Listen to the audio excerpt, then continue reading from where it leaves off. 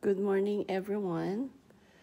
Ngayon magluluto ako ng pinangat na butterfish.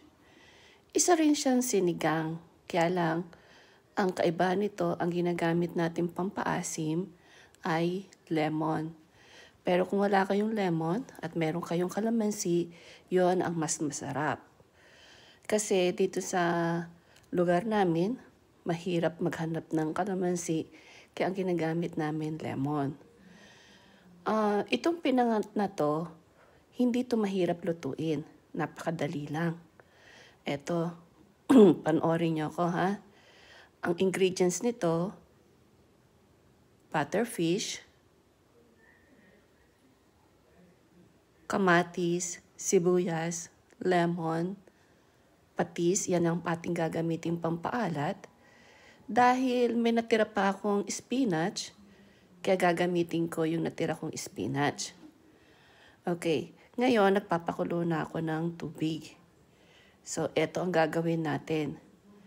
Uh, yung hiwa ng kamatis, pabilog. Yung hiwa din ng sibuyas, pabilog.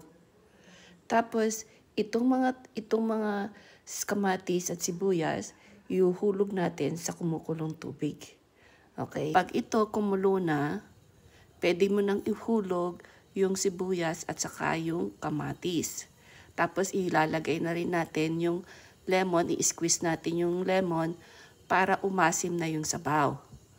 Okay?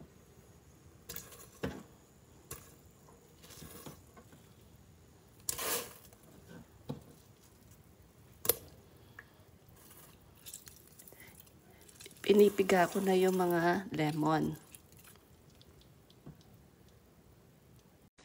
O, oh, ayan.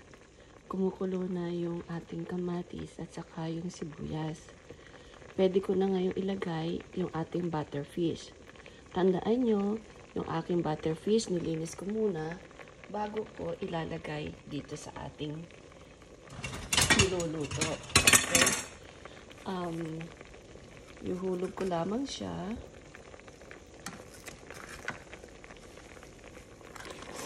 Okay? Nahulog lamang ang mga butterfish. Hindi ko na biniyak yan sa gitna kasi ang butterfish malambot. Pagka medyo na luto ng gusto to at may biyak pa sa gitna, may tendency siya na magkabiyak-biyak. Kaya hindi ko na siya nilalagyan ng hiwa sa gitna. Pero malinis na yan. Nilinis ko na yan bago pa tayo nagsimula. Okay.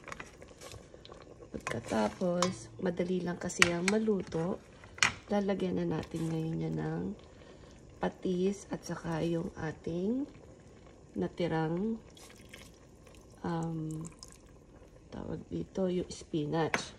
Okay?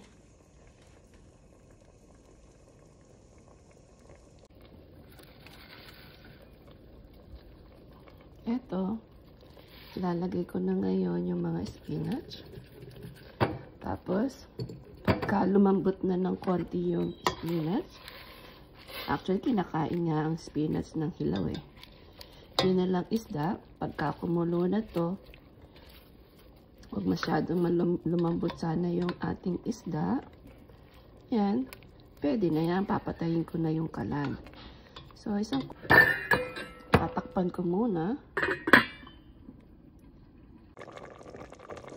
Oh, yan.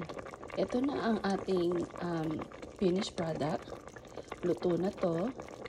Malalaman nyo pag luto na to, pagka yung mata ng isda, naging ganyan na.